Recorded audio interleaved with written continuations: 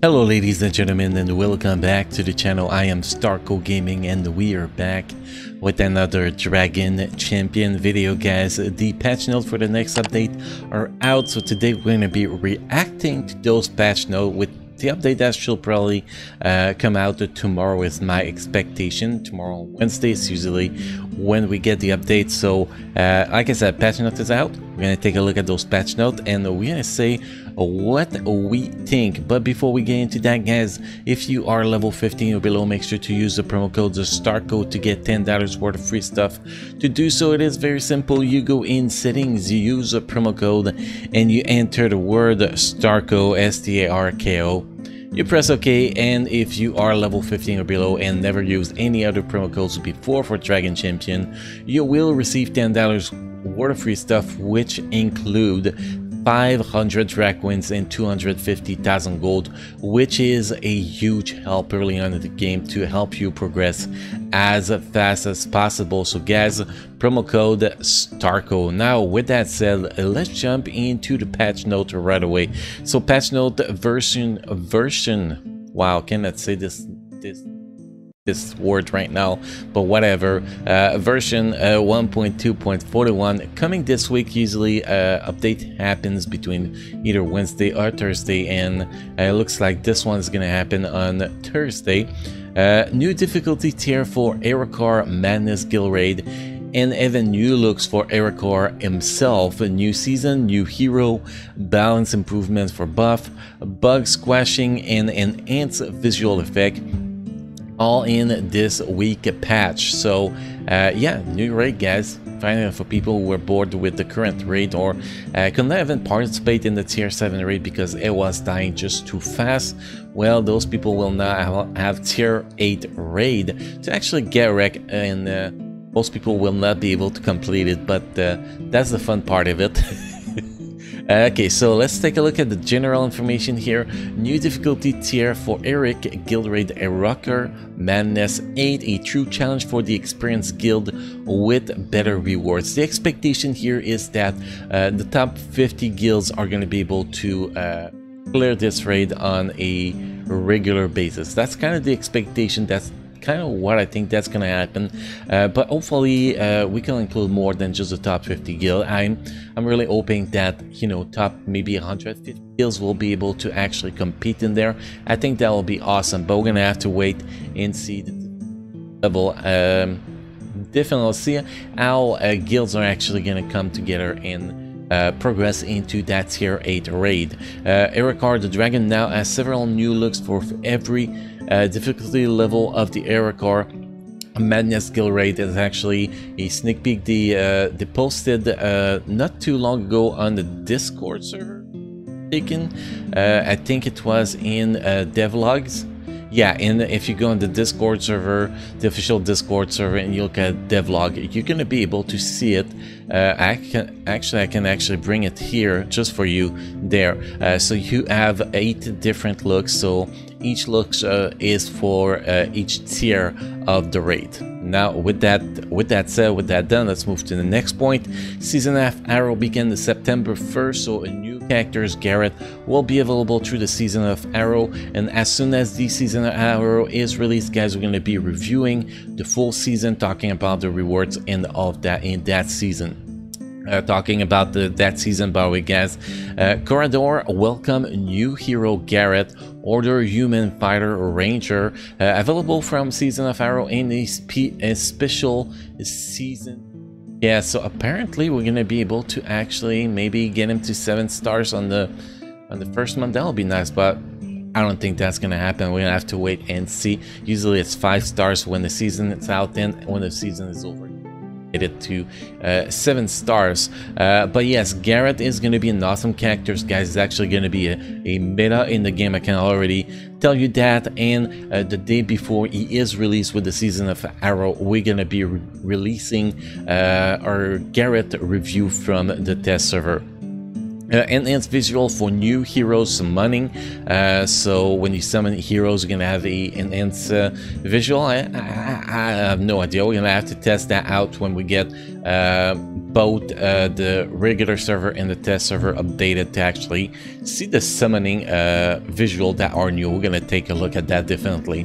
balance changes. we have a buff remove stun from possible buff, uh, debuff in dice throw, so a little nerf on uh, the stun, but a little buff on the uh, possible buff from the dice throw because uh, you will not be able to apply weakest characters anymore. So pretty much a little nerf and a little buff in the dice throw, which is going to even out the ability, but make it more reliable for uh, not applying um, the taunt, for example, you're not going to be applying taunt to Kira, which can actually screw you up, or to Mordoom, that can really screw you up if that happens. So that's going to be pretty awesome for buff, and removing the stun will make it a lot less annoying to fight buff. So I'm really liking this little adjustment. I still wish that buff will be a little bit weaker, uh, but I think that is a very nice change for buff. Uh, Kagi, Alliance of Winds, passive ability, so increase magic damage by 30%,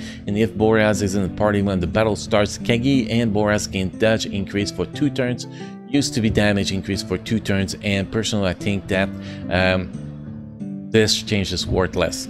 Uh, because the issue with Kagi is not the damage, HP. Kagi HP is terrible. His damage is decent. It could use a little buff, but his damage is not that bad. But the HP of Kagi is the second lowest in the game. Even Solius can one-shot Kagi. Solius is a healer, and he can one-shot Kagi if he has Nighttail on the team. Uh, you get a crit from Chalice, then a crit from uh, Nighttail from the following up attack, uh, include with the you know the basic attack on Solius, and then boom, Kagi will get one-shot. So technically, Kagi can get one-shot by a healer. That is completely stupid, and that little change is not going to fix that. Okay, you have a chance you're gonna dodge the attack, which will most likely not happen and Yukagi will be dead in a matter of uh, seconds again. So it does not make Kagi more usable sadly. Uh, I'm not a big fan of this little change personally. And next in Erokar Madness Guild Raid. So balance changes for Erokar Madness Guild Raid. Increase potency for guild boss in Erokar Madness from 10% for tier 1 to 80% for tier 8 so it, they're gonna make uh, the bosses a little bit stronger. They are way too weak right now. Uh, it's way too easy to clear at least to clear the first seven uh, stages. So making them a little bit more difficult I think that it's a very very good thing because um, raids is getting quite boring right now. Uh, you need like five people to clear tier 7 raid. It's kind of ridiculous. So yes, that's going to be awesome. So people cannot compete in tier 8 raid yet. They're still going to be able to feel uh, somewhat of a challenge in tier 7 raid. So that's going to be great. Uh, Erokar, the dragon is now immune to blind in tier 7 Again, that's going to be awesome. No more blinding Erokar, so it's going to be a little bit harder to kill him. And increase the tenacity by 10% for tier 7 raid bosses, which means you're going to apply uh, less debuff, you're going to uh, do less TMR, uh, which is going to make the boss uh, a little bit harder to kill. Again, that is a huge, huge, huge, uh, huge um, change that's gonna make a tier 7 raid a lot a lot more fun for most guild. Uh, for guilds that were borderline barely able to kill it uh, that's gonna suck for them but most people are doing tier 7 raid right now. They're just too strong for that raid so that is awesome changes. Uh, and awesome quality of life improvement that's the word I was looking for. Uh, next we have some bug bug fixes. Uh, fix 10 premium chests of bonus dragons that were not being added properly. Uh, fix the equip all button. Uh, I don't know what's wrong with the equip all button. Uh, I guess there are somebody, uh, some people were having issues with it. Uh, event chests now remain visible until the end of the in uh, fix crashes that occur open opening artifact chests, which I did not have that issue, but that's gonna be great for people who were having that issues definitely then uh, we have the new characters here. Uh, Garrett or Order Human Fighter Ranger. Uh, we're gonna go with the ability here. The first ability is Surprise Arrow. Uh, basic ability deal 300% of physical damage to an enemy and apply the effect of a pull arrow. A second skill is Dangerous Volley uh, 4 turn cooldown, deal 300% of physical damage to all enemies, and apply the effect of a pull arrow. So a lot of damage, lots of AoE damage here, that's pretty great. Uh, third skill, Flare, uh, cooldown 3-4, so 4 4 turn cooldown, but at the start of fight it starts with 1 turn cooldown. Uh, remove all effect of in invisibility from enemies blind, all enemies for 1 turn, Garrett and Ally receiving the currency increase for two turns, and Garrett and Eric Shieldbreaker receive a critical damage increase and critical chance increase for two turns. So, uh, countering um, Kira in PvP, Garrett is going to be a meta without a single doubt. So, every team playing Demon with Kira, um, you know, you cannot target Mordum because of buff, because uh, they're always stealth.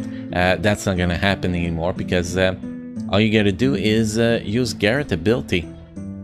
Uh, use the flare after Kira up the invisibility and uh, you're in business. You can kill whatever you want to kill at that point. So uh, Garrett is definitely going to be up there and his damage is actually pretty amazing. You're going to see that when we actually move to uh, the review guys for this characters. And, uh, and lastly, we have the ability War Royal Armory, which is the passive ability. At the end of his turn, Garrett pulls out a random arrow from his quiver. Possible arrow, sharp, sharp arrow inflicts a bleeding effect. Fire arrow inflicts a burn effect. Poison arrow uh, a poison effect. And daze arrow inflict a daze effect. Ice arrow inflict a slow effect. Effect lasts two turns. Anti-mage arrow remove all buff. If Eric Shieldbreaker is on the battlefield, Garrett and Eric both gain additional 10% health and speed, which is actually going to be uh, pretty, pretty awesome. Um, so also, uh, for people we were wondering here, apply the effect of a pull arrow uh, on the first skill and second skill. I'm guessing it goes with uh, what all those effects can actually be uh, from the passive. Uh, I do need to do some more testing with Garrett. Actually, I didn't try yet him yet really. So once I actually get to try him, I'm gonna have a better opinion on what the skills exactly do. But my guess is that when you use the first skills and the second skills, pretty much, you have a random effect that's going to be applied to the target. If uh, their tenacity then does not counter your potency, pretty much that's how I see it. So uh, globally, this is a very, very great um, update guys. Uh, a new season a new character finally. It's been a while since we had a new character so i am uh, pretty happy about that. And finally a character to counter invisibility. I think that was uh, must needed and tier 8 raid coming. Tier 7 raid um, a little buff to the tier 7 raid, so it's going to be a little bit more difficult. So uh, globally those are all amazing changes and uh, well I wish we will have battleground 2 coming out with that but I think uh, I think that's the only thing that that we are missing right now to actually make this a great update. It's a good update but not a great update because we are still waiting on the battleground sadly and uh, apparently it's getting delayed a little bit. We uh, we were expecting it to uh, we were expecting to get it by August 1st but that is not going to happen guys. There is a delay.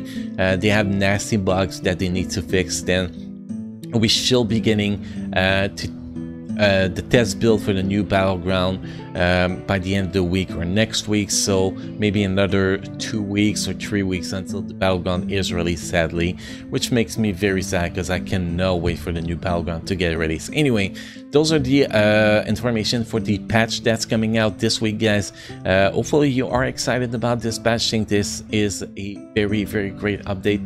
Well very very good. I don't want to use the great great wars because of the battleground but very good update very good fixes uh, new stuff that's coming that's awesome and uh, that shall improve the quality of life of everybody uh, that is uh, playing Dragon Champion. So guys, thank you for watching. Don't forget we stream every night 8.30 p.m. Pacific time uh, for about 90 minutes a day. We're having some fun. Uh, tonight the stream will be a little bit longer because uh, my guild raid will start uh, about when I'm usually ending the stream. So uh, we're gonna be able to add guild raid to the stream. Maybe tonight's stream might last around two hours if we're lucky enough. So uh, yeah. Don't forget to subscribe to the channel guys uh, so you can have access to all my video and all my live stream as soon as we release them. And uh, well you all enjoy your journey into uh, the world of Dragon Champion and I will see you guys again in the next video. Thank you.